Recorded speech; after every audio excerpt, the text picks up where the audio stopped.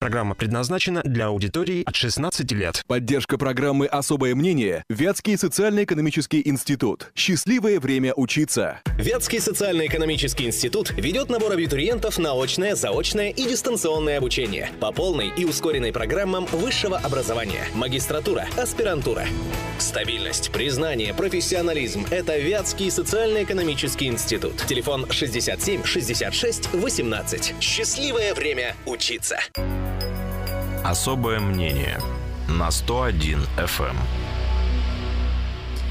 13.06 в Кирове. Это программа «Особое мнение». Я, Светлана Занько, и свое особое мнение сегодня будет высказывать Дмитрий Русских, депутат Законодательного собрания Кировской области. Дмитрий Михайлович, добрый день. Светлана, добрый день. Всем слушателям тоже добрый день. Тем более день очень хороший сегодня, как и вчера. Так что Прям хороший-хороший. Вот ну, хорошо солнце, себя... солнца и нет дождя уже хорошо. Так, хорошо. Ну, мы сегодня будем, конечно, говорить э, по итогам вчерашнего дня, по итогам выборов. Я должна сказать, что у нас есть э, все средства связи с нашими слушателями и предупредить наших слушателей, что именно в сегодняшней программе в особом мнении мы нарушим традицию, когда мы не принимаем звонки от вас. Но а, вот сейчас вы сможете позвонить по телефону 708-502, 708-502 и задать свои вопросы Дмитрию Михайловичу Русских. А почему мы это делаем? Потому что вот в первом часе дневного разворота а, мы обсуждали с представителями, ну, перечислю, кто был. Был Кирилл Черкасов, был Сергей Доронин, был Владимир Журавлев. Они вы, все представляют разных а, Партийные. кандидатов, Да. разные взгляды. Кирилл Черкасов сам себя, собственно говоря, представлял. Понятно было, что мы не успели принять все звонки от слушателей, недостаточно было времени нам для этого, поэтому вот в продолжении практически дневного разворота мы а, предлагаем вам воспользоваться этой возможностью. 708-502, звоните, пожалуйста, и задавайте свои вопросы или высказывайтесь просто по итогам голосования на выборах губернатора Кировской области. А, Я предлагаю тебе сначала обсудить явку. А, Как ты ее оцениваешь? Вот э, по городу, у меня такие сведения, по городу 25% проголосовало население, по области 36%. Ну, вот по области согласен, но почему-то мне казалось, что по городу ну, вот 21. Еще Но- меньше. Да, еще меньше. Ну, э, знаете, как бы я, меня спрашивают вообще, как оцениваем выборную кампанию. Я сказал, что выборы прошли тихо и без избирателей. Да, вот, вот такой фрагмент, да, тихо и без избирателей. То вот эта низкая явка как раз и говорит, что э, большого интереса у избирателей, у жителей Кировской области и города Кирова эти выборы не вызвали, к сожалению. То есть ты считаешь, что такая явка свидетельствует о том, что интереса у жителей не было? Почему возникла такая ситуация в таком случае? Вы знаете, вот тут много очень всяких э, тех вещей, которые, вот, на мой взгляд, повлияли вообще на то, что происходит. Э, хочу сказать, что проблема с явкой, она существует не только в городе Кирове и Кировской области. Я фактически отслеживал там всю территорию Российской Федерации, потому что было интересно э, все-таки чем мы отличаемся от других территорий, то, в общем-то, скажу, что, наверное, ничем мы, в общем-то, не отличаемся. Единственное, э, значит, явка была гораздо выше в тех областях, где проходили законодательные собрания параллельно. Значит, Выборы в законодательное да, собрание. Да. И э, в основном это республики, конечно, где особо как-то организованно все происходит, и там явка гораздо выше. Ну, вот пример города Москвы мы вчера знали, что Мосгордум. Да, в Московскую городскую думу там на 6 часов была явка 17.48. Да? Э, При всем при этом мы всегда четко понимали, что Москва это один из самых активных городов. В принципе, та же ситуация происходила и в Санкт-Петербурге. Там тоже была очень низкая явка на выборах губернатора э, Санкт-Петербурга. То вот тут как бы очень много всяких причин, и, на мой взгляд, одна из основных причин, что мы, наверное, за последние годы у избирателя отбили желание вообще ходить на выборы. По причине того, что разговаривая со многими людьми в городе Кирове, с моими там земляками, избирателями, у всех там есть там две э, основные вещи, там, да, что там ходи, не ходи, ничего не меняется. Это первый тренд, да. И второй тренд это, а там и так уже все решено, и без нас, и мы все знаем, кто победит. А зачем идти? Вроде интриги нет, как бы борьбы нет. Э, Кандидат фактически один, э, значит, или одни. Потому что по э, территории Российской Федерации была э, выборная кампания в губернаторы в 30 регионах. Я вам хочу сказать, что попадание администрации президента 100%. Все 30 кандидатов э, в губернаторы, которую э, предложила власть и администрация президента, победили там с довольно-таки очень большим отрывом от всех других соперников. Ну, практически все места заняли представители партии «Единая Россия». Ну да, там как бы без вариантов коммунист. вообще как бы и процент там колышется от 70 до 95. Да, вот, э, понимаете, вот э, меня всегда поражает, как можно было так подобрать 30 кандидатов, что они везде на 100% победили. Это просто уникальная ситуация. Я, я бы посоветовал администрации президента вот также формировать сборные команды по футболу и хоккею, чтобы мы всех побеждали. Вот выберут таких игроков, и мы сразу всех побеждаем. То понятно, что тут есть определенная э, правда со стороны наших избирателей, которые говорят, что, в общем-то, сегодня кого определила в исполняющей обязанности власть, те и победят. Или, э, в принципе, уже победили. Мы только единственное 14 сентября стояли там э, подтверждение тому, что да, а- они изначально уже были по- победившие. То есть ты считаешь, что те, кто не пришли на выборы, а, их главный мотив а, была предопределенность этих выборов? Я думаю, что нет интриги, нет борьбы, э, всем прекрасно все понятно. При всем при этом хочу сказать, что, ну и тот тренд, который я говорил, что у нас очень много выборных кампаний, а на самом деле жизнь и в области, и в стране, и в городе ну, фактически не меняется, то люди как бы не верят вообще в это происходящее. На самом деле я хочу сказать, что вот 30%, которые сегодня, ой, 30 депутатов, кото- о, гу- людей, которые стали губернаторами, которые были э, посланы туда администрацией президента и президентом, значит, э, фактически показали, что все сделано для того, чтобы они побеждали, не было там по всем территориям я смотрел реальной конкуренции, э, хороших и сильных кандидатов от других там партий или самодвиженцев не допустили до выборов, Э, значит, и при этом получилась такая ситуация, что, э, в общем-то, и никто и не сомневался, что они победят то низкая явка, на мой взгляд, да, сегодня лично меня приводит к одной мысли, что а вообще зачем нам выборы? Да?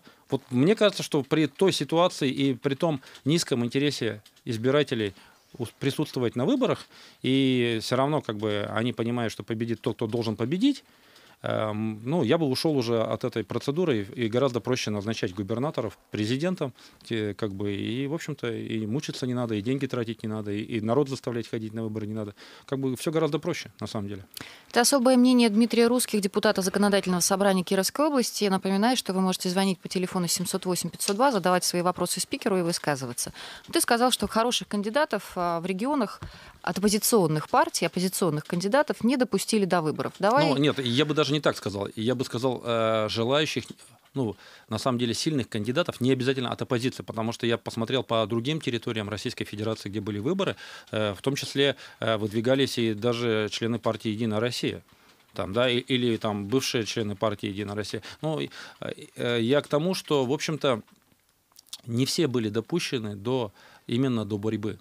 Ну вот я это самое и сказала. Да. Не допустили до выборов. Да, я- не- Давай спустимся. Это не только оппозиция, Давай вот в на том числе и оппозиция. приземлимся на территорию Мгм. нашего региона. Вот в нашей ситуации, мы уже неоднократно об этом говорили, а, ты видел вообще заявлявшихся или заявлявших желание сильных кандидатов, которых не допустили, но они хотели?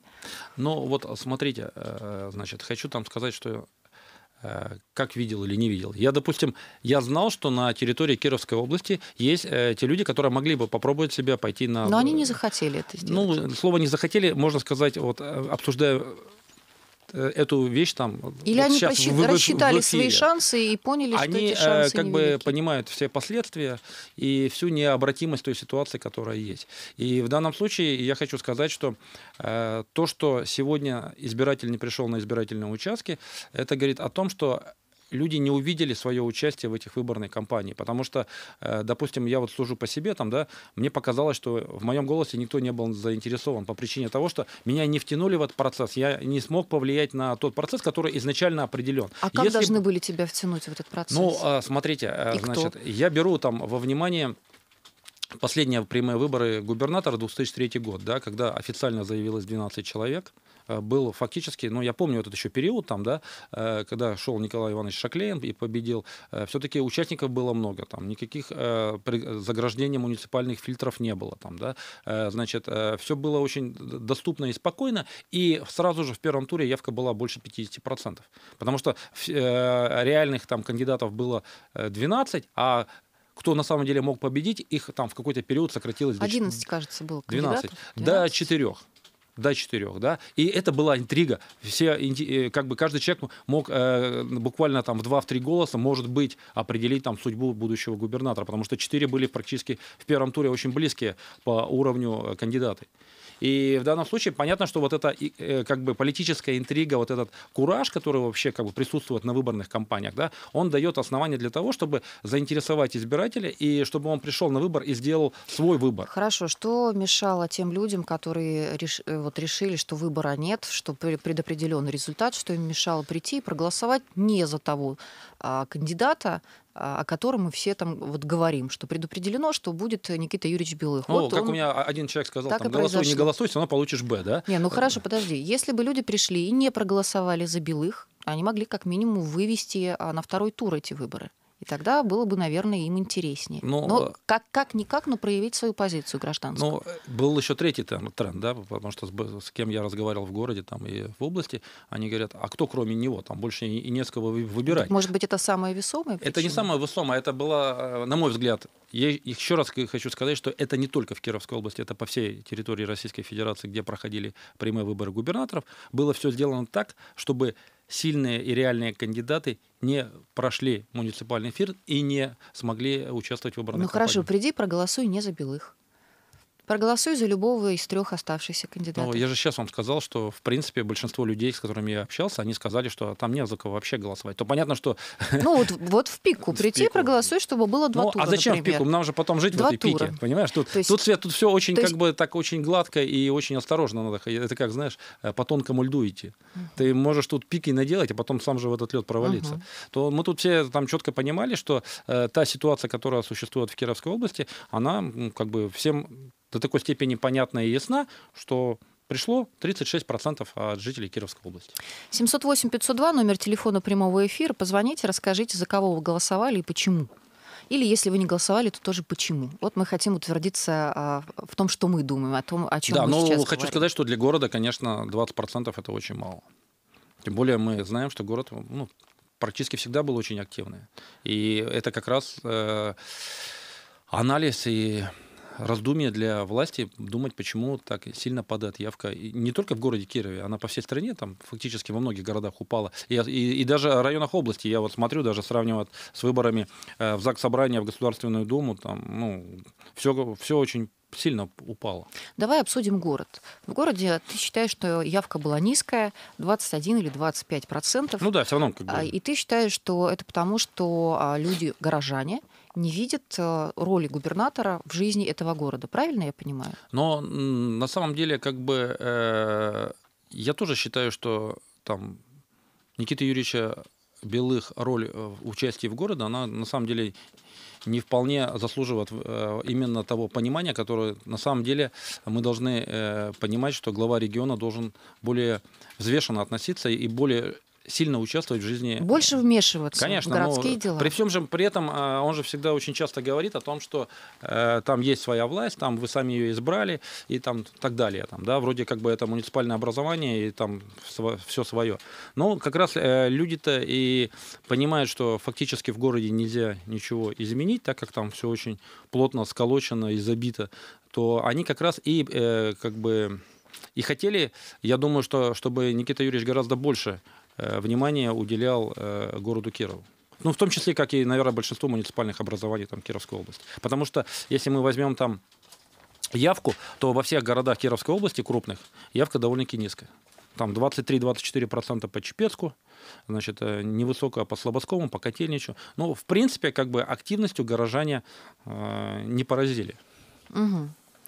А, Еще раз о том, что предсказуемыми были ре- результаты выборов не только в нашем регионе, но и а, в стране. Об этом говорят многие очень эксперты, Ну да, практически тут- единодушно, единогласно. Как ты считаешь?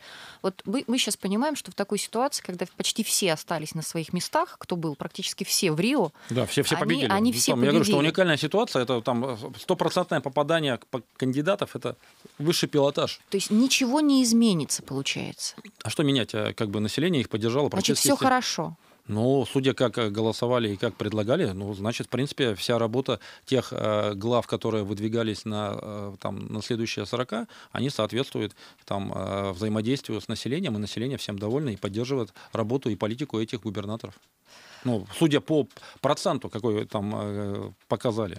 Даже Хорошо. при низкой явке. Хорошо, давай посмотрим еще на позиции а, кандидатов, наших кандидатов, Да. которые выдвигались на эти выборы. Каждый из них практически говорил о том, они или их представители говорили о том, что а, наши кандидаты или я как кандидат готов работать а, с тем, кто победит, или если я одержу победу, то я обязательно буду набирать команду из, а, из любого стана человека возьму, да, если он хороший хозяйственник, умная голова, и я увижу, что он принесет пользу на этом посту. Все говорили, что нужно переформировать команду и набрать людей вне зависимости от их политических а, взглядов.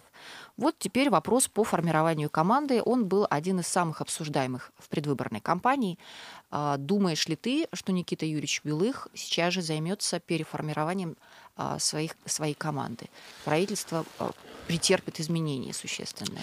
Ну вот э, начну там с основного. Мне вообще казалось, как избирателю, да, который, в общем-то, следит за процессами, э, что все четыре кандидата, которые выдвигались на должность губернатора, должны были в первую очередь представить членов своей команды. Да? Это было бы там все понятно и внятно по одной простой причине. Скажи мне, кто твой друг, и я скажу, кто ты.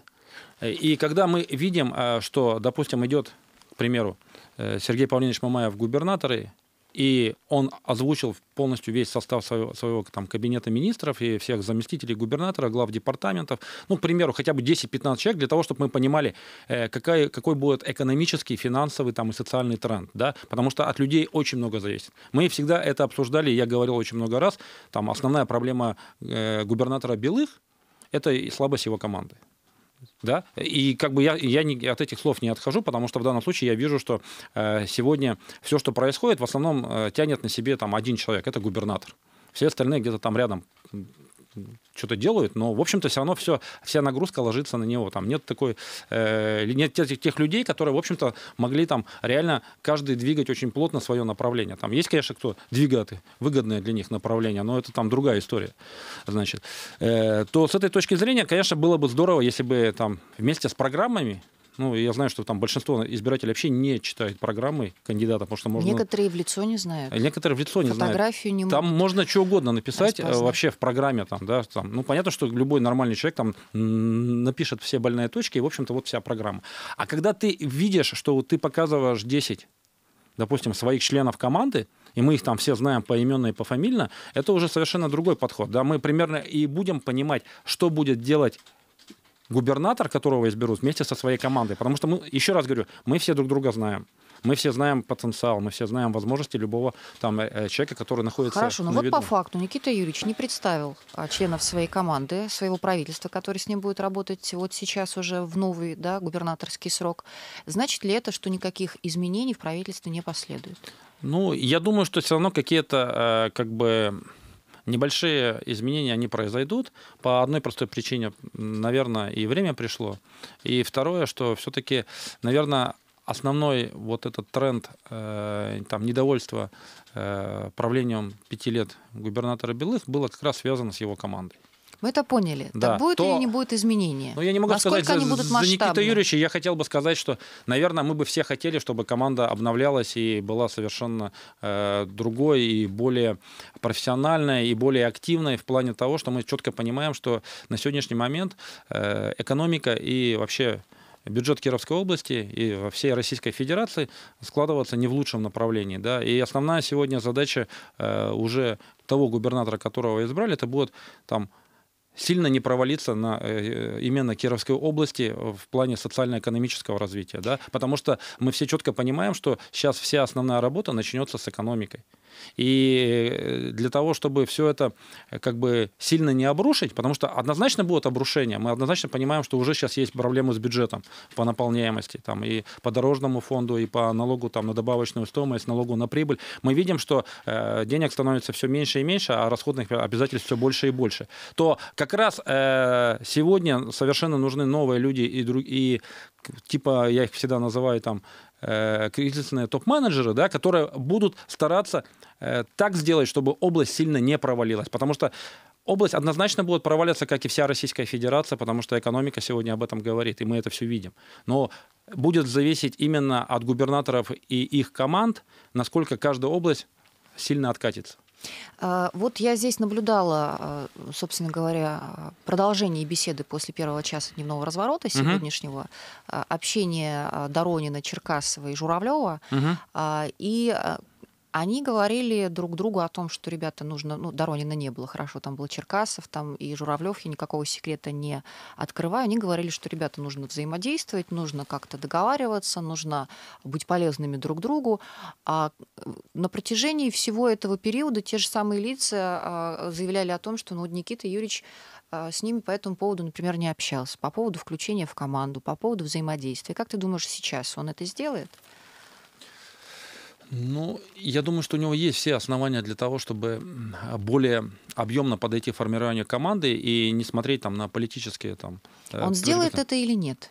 Я Основания не... есть, это мы поняли уже из того, что ты сказал. Я, я думаю, что где-то в глубине он что-то об этом думает, но хватит ли у него сил и мужества пойти по этому пути, потому что, э, к сожалению, я еще раз говорю, что формирование там изначальной команды, она вызывала у меня, как даже у депутата, очень много вопросов, потому что многие те вещи, которые происходили за эти пять лет, для меня там вызывали там какой-то удивление. Просто. Веришь ты или не веришь, что он будет ну, я не вести гадалка. переговоры? Я еще раз хочу сказать, что я бы хотел, я бы хотел, чтобы он команд. более расширенно под, подошел по именно э, подготовке и формированию своей новой команды.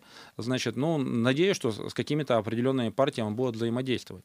Ладно, оставим партии. Тут я не, не добилась э, от тебя а, однозначного ответа, но еще один вопрос, который тоже активно обсуждался э, во время всего управления Никиты Юрьевича Белых в первом сроке его, это взаимоотношения с элитами. Как ты считаешь, вот теперь, когда элиты видят, я думаю, что они, конечно, ты мне, наверное, скажешь, что никто и не сомневался, но вот когда они точно уже теперь видят, что Никита Юрьевич у власти остается, а, будут ли выстраиваться сложные достаточно взаимоотношения с элитами в ином русле каком-то? Ну, Может быть, элиты изменят свое отношение. Надо просто знать наши элиты, Может там, быть... так называемые. Мы, я не, не знаю, про что говорим, или про бизнес-элиты, или про политические элиты, хотя, в общем-то, они это... Имеют, как, есть ну, какая-то разница? Есть немножко разница, но, в общем-то, это одно и то же. Там, да? Значит, они, конечно, все видят, но также хочу сказать, что там то напряжение и то отношение, они вряд ли там кардинально поменяют. А могут просто притаиться, могут где-то... Еще за, на пять лет притаиться? Ну, почему на пять лет? У нас тут, мы же, знаете, как живем периодами, у нас там все вот эти элиты, они живут там от выборов до выборов. То вот сейчас, допустим, тишина, а тут ближайшие там выборы в ЗАГС собрания, мы снова увидим совершенно другой формат. Мы снова увидим, что все это закипело, заходило, забегало, там, засопротивлялось. И это, э, это будет постоянный процесс, потому что, э, к сожалению, Проблема Кировской области в том, что никогда эти элиты не могут объединиться и работать во благо э, экономики и социальной жизни этой нашей территории. Мы постоянно с кем-то воюем, мы постоянно каких-то врагов ищем внутри, там, извне и все прочее. И это процессы, к сожалению, они э, Наверное, не только в Кировской области. А могут элиты Просто они, они очень э, в этом в Кировской области ярко выражены. А могут элиты договориться самостоятельно без участия губернатора? Или они, может быть, может быть, они ждут, что губернатор им предложат что-то? Э, что-то, да, у него будет стратегический план какой-то. Или, ну, или другая все равно тактика найдутся возникнет. Э, те элиты там, или те люди в этих элитах, которые все равно всегда будут сопротивляться и всегда будут э, какую-то... Чего вести... сопротивляться, если хорошее предложение последует? Ну, всем хорошее предложение не поступит, и у каждого свое хорошее предложение, да. Один хочет там должность занять, другой хочет там бюджетом немножко поработать, там третий э, хочет остаться еще там на какой-то определенный срок ну, ты представь себе, примеру, Но представь города. себе ситуацию, когда Никита Юрьевич жесткой рукой э, распорядится и, и скажет, ребята, каждый получит сферу, будем работать на благо, но вот работать будем Свет, так, ну и все послушают. Смотри, очень сложно Это отвечать возможно? за человека, которого до конца не понимаю, да, но мне кажется, что сегодня у Белых есть уникальная возможность мы там четко понимаем, что он получил там конбланш на 5 лет. Да? А, как раз у него сегодня есть возможность стать более жестким, более требовательным и более как вам правильно сказать... Нужно ему стать жестким и требовать, более жестким Я думаю, что ему нужно, и это заставляет, это заставит его делать жизнь, потому что в данном случае то, что я связываю с экономикой и там, э, с принятием бюджета, там, формированием бюджета, вообще со всей экономической, социальной деятельностью, э, э, жизнь его заставит это делать и быть более решительным и более жестким по отношению даже ну, к этим же так э, называемым бизнес-элитам или политическим элитам. Элитам нужна жесткая рука? Как жизнь наша показывает, что, наверное, нужна. Это особое мнение Дмитрия Михайловича Русских, депутата Законодательного собрания Кировской области. Мы продолжим через пару минут. Программа предназначена для аудитории от 16 лет. Поддержка программы «Особое мнение» Вятский социально-экономический институт. Счастливое время учиться. Особое мнение на 101 FM. И это действительно особое мнение. И свое особое мнение сегодня выражает э, депутат Кировск... э, Законодательного собрания Кировской области Дмитрий Русских. Э, Я Светлана Занько. Мы продолжаем. Я знаю, что ты, конечно же, осведомлен о том, насколько сложна процедура сама выборная, насколько важно там следить за тем, как проходят выборы. Вот все наблюдательные органы практически отчитались о том, что нарушений на нынешних выборах выявлено не было. Об этом э, сказали и, э, и обл. избирком, и общественная палата, и полиция, ну и практически там все наблюдатели сказали, что нарушений не было. Это прям какая-то удивительная история в свете того, как проходили прош- ну, все практически прошедшие выборы. Нет, тут ничего, Почему в при- такой принципе, результат? Свет, удивительного ничего нет. Просто вот э, я вижу там две основные причины. Да. Первое, э, вообще после 2012 года, когда мы знаем, что были очень большие недовольства вообще фальсификациями и все прочее, там администрация президента поменяла полностью выборную технологию. Значит, э, и в чем она заключается, мы уже с тобой говорили в первой там части, да. Э, Нигде сильные кандидаты фактически не были допущены до выборных кампаний. Их просто на каком-то определенном участке э, всех отрезали. Допустим, если это взять там депутатов в Московскую городскую думу, там собранные, там кто-то не смог собрать подписи, значит, э, кандидаты, те, которые вы хотели выдвигаться в губернатор, не прошли муниципальный фильтр, или там подписи тоже не собрали, то, в общем-то, как бы на первом этапе как бы всех ненужных отделили то как раз я и почему и говорю, что сейчас все проходит спокойно, и не надо ничего взбрасывать и передергивать по одной простой причине, потому что с самого начала все становится быть, под, э, становится быть, находится под контролем. Да? И когда мы запускаем там второй этап, то уже там всех кандидатов знаем, всех их администрация президента видит, знает примерно, кто сколько там наберет. И, в общем-то, ничего передергивать внутри э, избирательных участков не требуется, как ну, вообще. Да, и а если там ничего не делается, в общем-то, никто и не кричит, и никто и не говорит, что там сбросы или там какие-то фальсификации происходят внутри э, избирательных участков. Там на самом деле уже вторые выборы становятся все гораздо тихо. Мы помним городские выборы в городскую думу, да, тоже внутри все было тихо, но до этого на участках там раздавали по 500 рублей. Но это так как это было не на избирательных участках, а на их подходов, да, то, в общем-то, тоже как, как таково показала жизнь, и все те нарушения, которые писались, не нашли поддержку. Вроде зато выборы-то ведь чистые, внутри ведь никто ничего не фальсифицирует, никто ничего не передергивает, вроде все как бы хорошо. Та же система и сработала и в 2014 году. То когда э, на начальном этапе там все идут понятные люди, да, и все знают у кого сколько процентов, а зачем там там не, если мы не допустили сильных и э, мощных кандидатов, а фальсификации всегда делались против них, да, то в принципе фальсифицировать э, как бы там и нечего. Значит, это вот первая причина, что поменялась сама технология. Значит, избирательный участок это место тишины и полного контроля, и там все по-честному. Да? Значит, и второй этап, э, то, что касается Кировской области, я смотрю. Ну, понятно, что главный участник всех э, скандалов и подтасовок и взбросов являлась всегда Единая Россия. На сегодняшних выборах э, губернатора эта партия не участвовала как таковая в выборной кампании. Ну как же не участвовать? Ну, она поддерживала, но, в общем-то, своего кандидата не имела, никаких там больших э, проблем у них ни с чем не было, и, в общем-то, они сидели спокойно. Значит, и, и из, этого, вот на самом деле, я тоже прошел много избирательных участков и в Ленинском районе, сам ходил, смотрел там все, да. Ну, на самом деле, э, б- была и, и тишина там, да. Все тихо, все спокойно, все по-честному, там все, все как положено. Значит, ну, технологии меняются. Хо- Хотя э, смотрел по России, там, где на самом деле шли ожесточенные там бои, особенно в ЗАГС собрания, было все. Допустим, этот же возьмем Татарстан, там э, до Фактически начало выборов, э, ПП, голосование прошло почти 13 или от 9 до 13 процентов. Прошли люди проголосовали до выборного дня. Заранее проголосовал такой громаднейший процент. И это, это во многих как бы, территориях присутствовало. Ну, я тоже считаю, что это нарушение. И видео есть съемки в Татарстане, когда э, люди смеются и говорят, что их с работы всех заставили идти, заранее проголосовать, потому что специально даже дали 3 часа. Но в нашей области такого не Ну зафиксировано. да, в, в нашей в, в этом плане как бы на самом деле все гораздо спокойнее. Я хочу сказать, что я сам прошел три выборные кампании.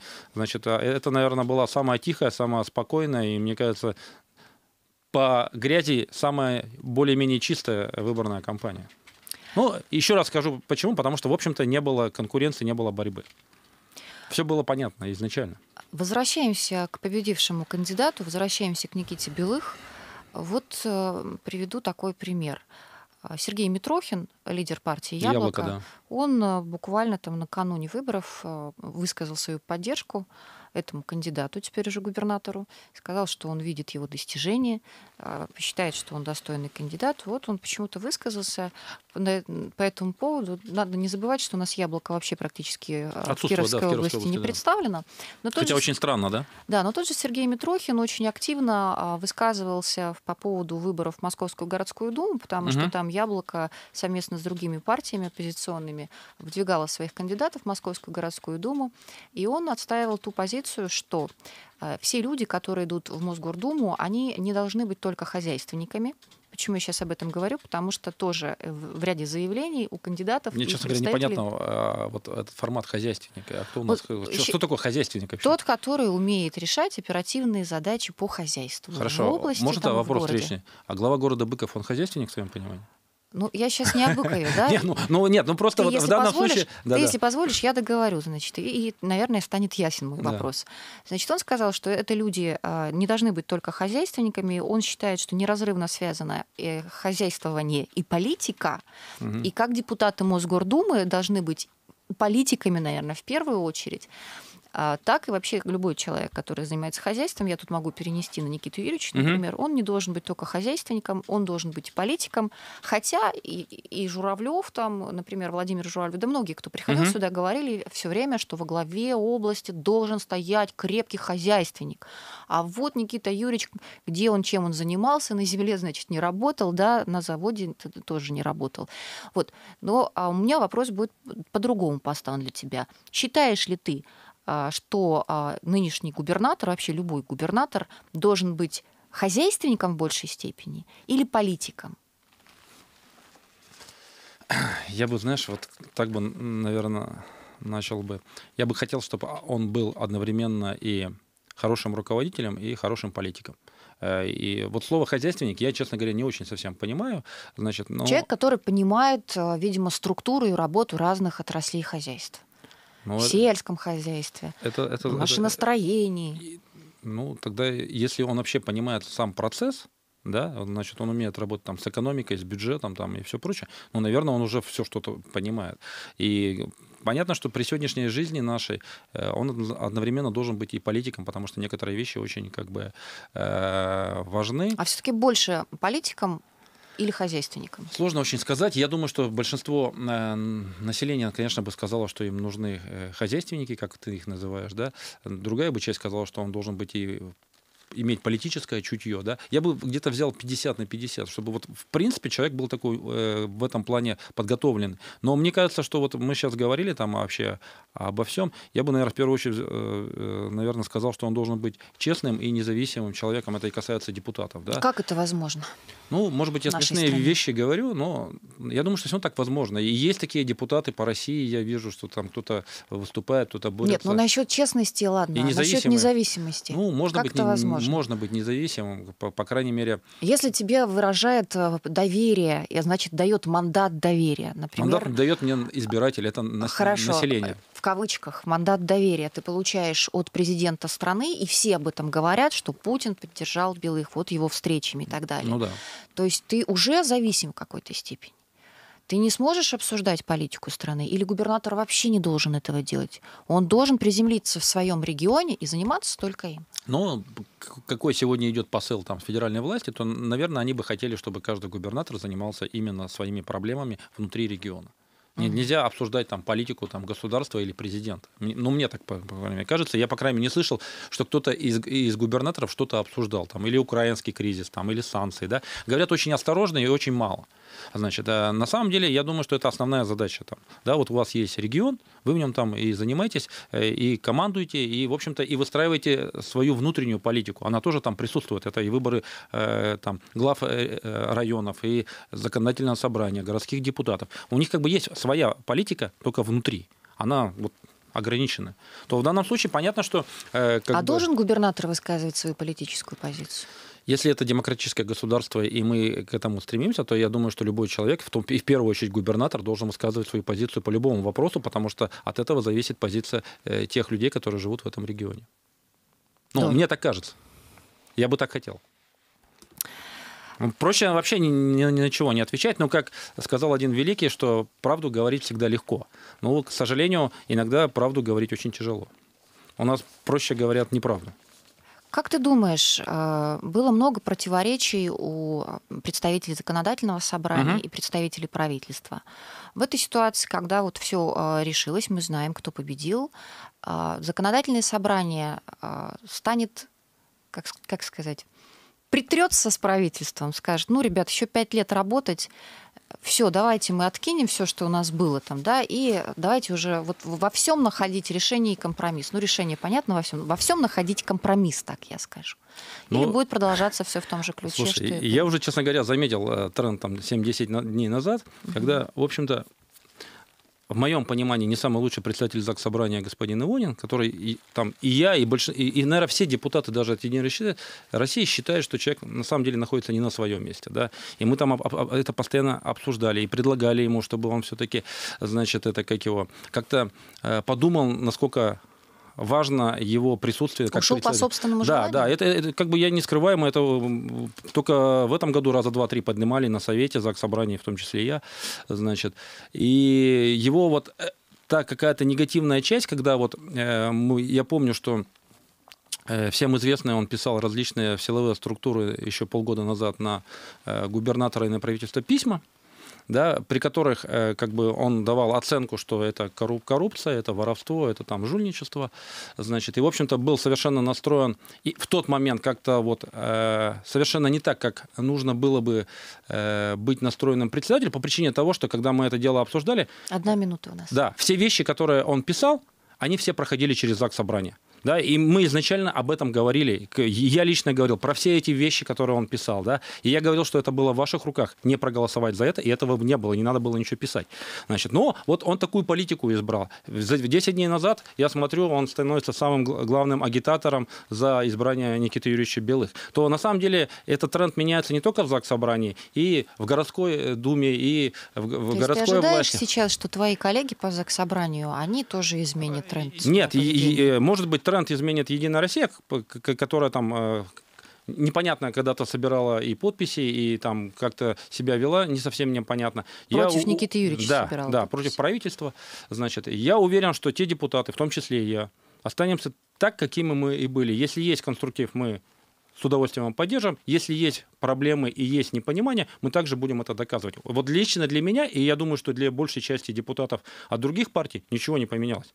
Да, нас население избрало, но и нас население избрало, то мы должны вести диалог и дискуссию о том, как области экономически и социально развиваться. Я не думаю, что всегда во всем губернатор и правительство правы. Да, у нас время передачи, к сожалению, подходит к концу. Ну что, можно поздравить тебя с тем, что Чем? все определилось? А меня что поздравить? И что Я- теперь мы, мы должны поздравить кировчан, что все определилось, и они э, там сделали свой выбор, а меня что поздравлять? Я продолжаю работать депутатом, и, и у меня ничего не поменялось, и э, будем дальше продолжать с Никитой Юрьевичем, с правительством дискутировать и с чем-то соглашаться, с чем-то не соглашаться. Поздравим в таком случае кировчан. Я благ- Поздравим кировчан, и, как бы, наверное, в чем-то мы можем поздравить и Никиту Юрьевича, хотя он попадает в очень тяжелый период, я говорил, социально-экономический, то как раз вот все его способности и всего, что он научился за пять лет, он должен будет сейчас показать в эти следующие пять лет, потому что на самом деле хочу сказать, что ситуация с точки зрения экономики и бюджета очень тяжелая.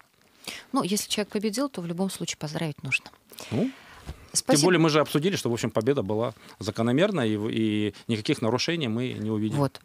Спасибо тебе за твое особое мнение. Напоминаю, что сегодня в программе был Дмитрий Русских, депутат Законодательного собрания Кировской области. Я Светлана Занько. Мы прощаемся с вами. До свидания. Спасибо всем, до свидания.